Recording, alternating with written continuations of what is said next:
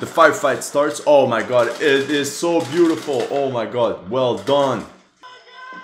Oh, they're gonna leave them behind. And you see how the fire really exposes their position here. Exactly like in the actual battle. Hi and welcome to History Legends. In this video we'll do a step-by-step -step historical breakdown of a fantastic Norwegian movie called The King's Choice. A lot of you have been asking me to react to this war movie. I'm pretty excited. Are you ready? Let's go. Alright, they seem to be in high alert. By the way, this takes place the same day as the Danish war movie I reviewed, April 9th. Okay, we see the soldiers spreading out. I love the vibe of this movie. 20 seconds in, I just love it. I don't know what it is. I already like the scene. I don't know if it's just hearing the sound of the clicking of all the equipment, the heavy breathing. We feel the stress even though it's not explicitly shown. I love it. All right, but you see that they're in full gear. So I think these guys were part of the, the King's Guard. The only guys with full gear, helmets, everything. So we see this young teenager I love this perspective. It's amazing. But overall, they are stressed because Norway, when the Germans attacked in 1940, Norway had not seen action, combat action in 126 years. This goes to show how unprepared they were for an invasion. All right, now they're just waiting. The waiting game, the hardest. So we can see they're in winter gear. That's pretty good. And we also see they have gloves. Excellent. You probably know this, but in winter, when it gets dark, it gets extremely cold. And let me tell you, I know a thing or two about winter. A few minutes outside without gloves and you just can't feel your fingers anymore. So forget shooting or reloading with dexterity. And I also love their winter gear. Excellent for this weather. All right, let's go. So they're patiently waiting for the enemy. All right, so we can see one small fire team here. There's a lot of men spread out. We can see even men here in the back. They're all lined up along this road. And if we take a look at their defenses, at first glance, we can see that they're all positioned along this road. They formed sand walls and reinforced the structures with uh, logs. But this also goes to show how little time they had to prepare, maybe a couple hours at most. And again, just like with Danish forces, you see how all the soldiers here are spread out. But I can bet that the moment the battle starts, officers will have a hard time managing all these men without telephones or radios. And also, um, forget digging trenches in the cold, the hard soil. It's gonna take too long. So you see an officer running, they're running around. That was a problem of the Norwegian army. They didn't have enough, uh, enough NCOs. Right, so they know that the Germans are supposed to come from that road. And look at that. Amazing. Look at all the vehicles there. And this is what actually happened. A lot of Norwegian civilians fled Oslo. And when they faced this roadblock, they simply abandoned their cars, crossed friendly lines to go somewhere safe. And here you can even see the little bridge that was actually there in reality. And there's a river underneath, but the river was frozen because it was winter. But other than that, it looks very much like the battlefield actually would have looked like. I'm very happy. So they've been told Germans are coming. But they can literally stay there for hours. Think the waiting game. Okay, we can hear a vehicle. But the vehicle shouldn't scare them. They've heard a lot of them throughout the day, a lot of civilians. This might be a false alarm. By the way, check this out. So the helmet these Norwegian soldiers are wearing is called the M31, a copy of the Swedish model 1926. Since these guys are the King's Guard, they all were equipped with it. But before this battle, they were reinforced with civilians or reservists that didn't have access to these equipment. So all the others should have some sort of kepi. Alright. Oh yeah, and take a look at the rifle. According to my research, he's holding a Krag-Jørgensen model 1894. It was by far the most common model in the Norwegian army in 1940. It's actually a very similar model to the bolt action rifle that Danish troops were using on April 9th, 1940, just like we saw in my latest movie reaction. And in this battle, a couple Norwegian soldiers were also equipped with the carbine model 1912. I usually get flagged by you guys in the comment section whenever I talk about weapons. But honestly, I like to read your comments and this allows me to get better. Weapons is not something I'm an expert in, but I'm getting better. As you know, learning is a continuous process and that's one of the reasons I made this channel to have this interaction with people talking about war movies, video games and everything. So keep up the good work guys. Proud of you.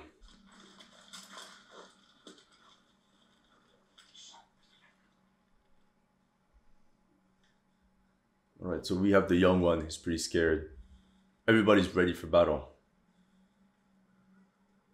Okay, we have a bus, but could be civilians. We don't know. Okay, we have more troops here lined up, but did you notice how they're not protected by anything?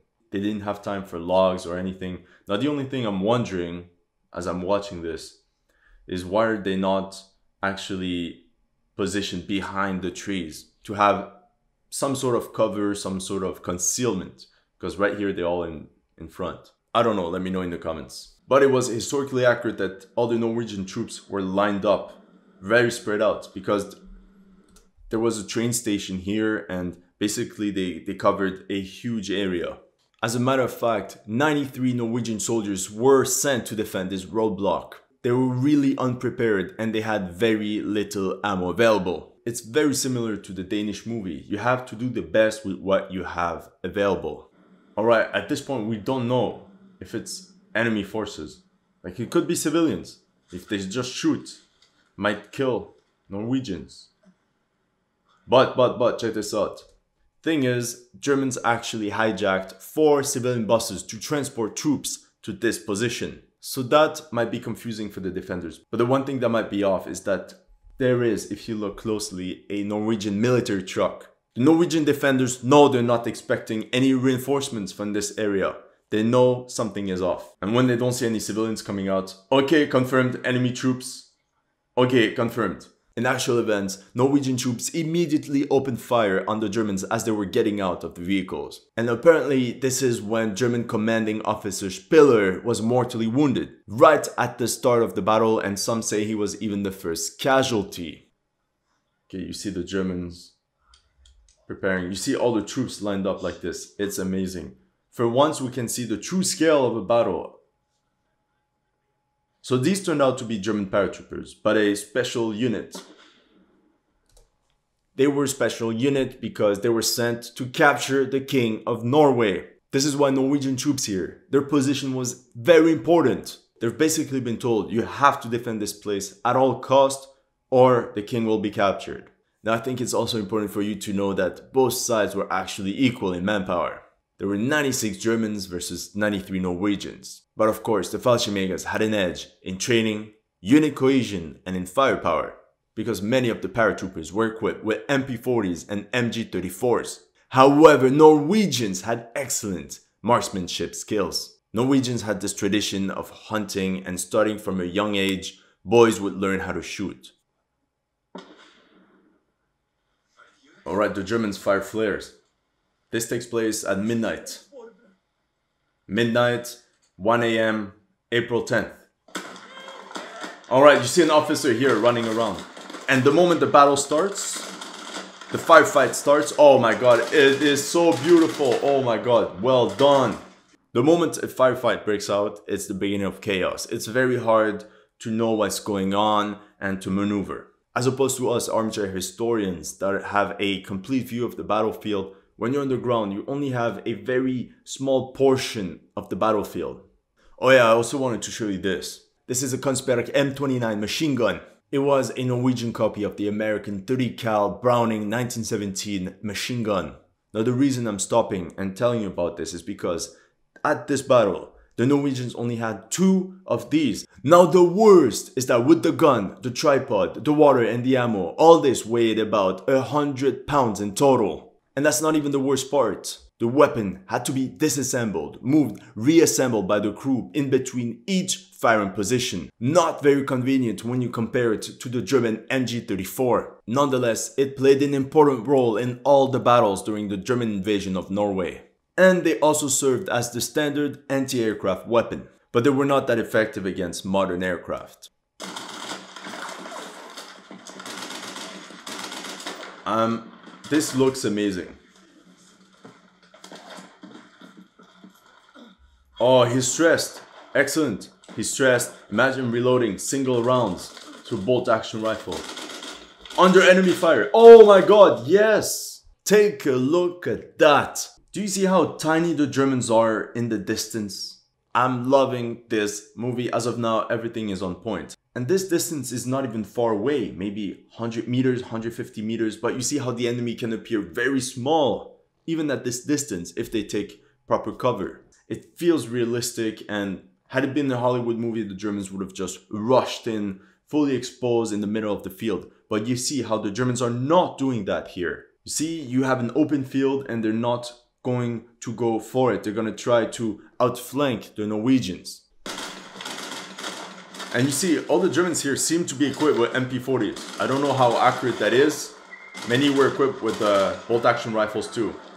But the traces look incredibly impressive. Okay, and check this out. What happened here is that as the Germans were firing flares, one of them fell on the Midtskogen farm.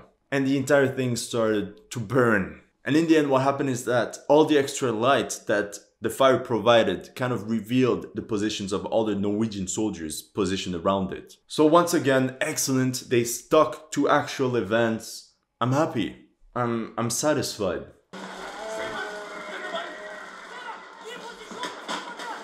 Did he say over there? He literally said over there. If you're Norwegian, let me know in the comment section. Okay, this looks like trenches, but it's like a path that you have to shovel your way through. So it's uh, it could be done very quickly. I also like that this battle scene is centered on this young teenager. Oh, you see, check this out attention to realism is very good. As you can see here, you have one of the soldiers with a helmet, but the others don't. These are probably civilians that went to help the Norwegian soldiers make a stand. Oh, oh, oh, here, here, here. In the movie, it says it's jammed. Here, because here there is a machine gun. Remember, we saw one of them earlier before, now that's the second one. And I have to admit, it's very close to actual events. In reality, at the beginning of the firefight, both machine guns did not work because they were water cooled and this caused problems in very cold weather. Imagine what it must feel to bring decent firepower and then it doesn't work. By the way, all the machine gun crews were manned by officers because they were the only ones that were trained on how to use these weapons. Regular Norwegian soldiers had not a single clue on how to use them. Now to get back to the story, in the middle of the firefight, eventually one of the crew managed to make their machine gun work. So the movie is not exactly the same thing as in the reality, but I'll forgive it because just like we can see here in the movie, the one near the farm couldn't be fixed. Only the one on the left flank managed to open fire. Now I'll let you guess from what directions the Germans outflanked the Norwegians. And you see how the fire really exposes their position here. Not only the burning of the farm actually reveals the position of all the Norwegian troops here. The Germans can clearly see where their enemies are, but the Norwegians can't see where the Germans are. Attention to detail, I like it. Even here the Germans have a clear view on the main enemy machine gun. Yeah, I think there it's more ammunition here. And you see the constant tracers. It's beautiful, but terrifying at the same time. Okay, the grenades. Very good. The Germans are getting it closer. Oh, the grenades. Exactly like in the actual battle. I'm actually super happy. Basically, the German paras worked their way forward in bounds, while one group fired, the other would move forward. They would pop off rifle shots or bursts from their machine pistols the moment they hit the ground and the second group would move forward. Now eventually they got actually close to Norwegian positions, close enough to be at grenade range, and they started throwing grenade after grenade on the Norwegians. Now fun fact, Norwegian troops were not equipped with grenades. They did not have any. So at this point, Norwegian troops start to get anxious. And what I like in this movie is that the casualties are not exaggerated, but the battle scene is still epic. Now casualty reports are always a bit messy and sources vary, but from what I read, Norwegians lost 3 wounded and the Germans lost 3 to 5 killed including their commanding officer, plus unknown number of wounded. Of course, it's accelerated, it took 2-3 hours for it to unfold, but the Germans eventually started to outflank the Norwegians and they got really close. And don't forget, Norwegians have bolt action rifles at close range against MP40s and grenades. They can't do much. it sounds like in German, uh, zu Deckung, take cover.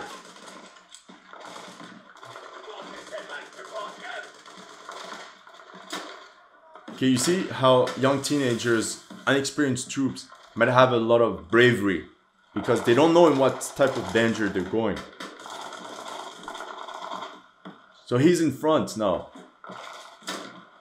You see, took the shot. But the senior guy, the experienced guy, the older guy, oh, you were killed by a grenade. Watch out for the grenade indicator. But jokes aside, I'm extremely sad for this young guy. He he just doesn't know in what type of danger he he stepped in. Oh, and I like that it's all silence. Wow. Okay, the uh, I think he's wounded. But it's not going well for Norwegians. I think that's their commanding officer. Oh, and they're falling back. They're running away.